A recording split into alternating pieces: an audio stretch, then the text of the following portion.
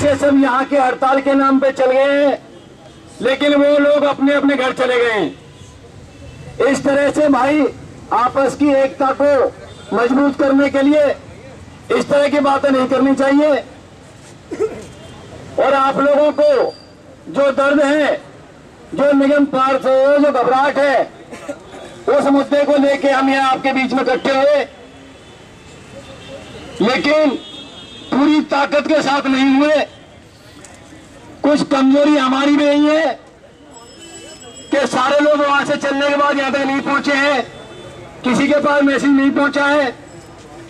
अब मैं आपके बीच में जो हमारी यहाँ बीजेपी ऑफ़िस के अंदर जो बात हुई है, वो मैं आपके बीच में रखना चाहूँगा। यहाँ पे आज बीजेपी का जो उपचुनावों का इलेक्शन उपचुनावों का रिज़ल्ट है, आप लोगों को पता होगा चौदह तारीख को। अमित शाह जी, यहाँ पर नहीं है मौजूद। उन्होंने ये कहा है कि सोमवार का, जो सोमवार आ रहा है, इस सोमवार को मिलने का टाइम मिल गया है। उसमें सोमवार को यदि हमारी ये मांगे, हमारे पाँच आदमी, सात आदमी, या मैं कहूँगा सोमवार को हर जोन से एक एक दो दो आदमी जो जिम्मेदार हो, चाहे वो सीएफडब्ल्यू हो, चाहे वो डीबीसी हो, चाहे परमानेंट हो, सारे भाई एक है या कोई कैटेगरी नहीं है, सब भाई हैं बराबर के।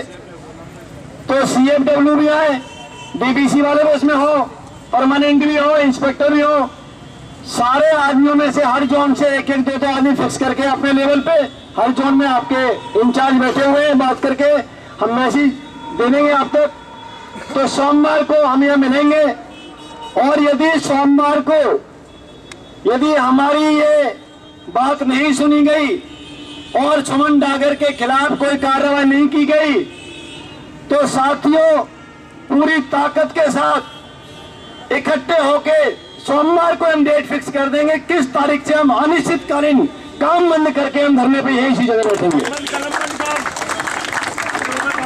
इसलिए साथियों आप लोगों की ताकत देखते हुए हमें डेट तो मिल गई है, वरना ये इतने बड़े ऑफ़िस के अंदर कहा किसको डेट मिलती है? आपकी बात को यह आश्वासन मिला है कि गारंटी के साथ इस पे एक्शन होगा सुमन नगर पे। तो मैं आप लोगों से प्रार्थना करूँगा, सोमवार तक का इंतज़ार करें। आपके जोनों से हमारे बीच में है और मैं कहना चाहूँगा, जो डीबीसी है, जो सीएफडब्ल्यू जो परमानेंट जो भी है, हर जोन से दो दो आदमी हम बुलाएँगे मैसेज पहुँच जाएगा आपके पास। सोमवार को मिलेंगे। और सोमवार को यदि हमें पूरी तरह से आश्वासन नहीं मिला और काम नहीं हुआ तो हम अगले जो मैसेज आप तक भेजेंगे और पूरी ताकत के साथ हम यहाँ दोबारा से सभी इकट्ठे होंगे। अभी शांति से अपने अपने भाई घर जाएँगे। आप सभी का बहुत बहुत धन्यवाद। इंकलाब जिंदाबाद जिंदाबाद।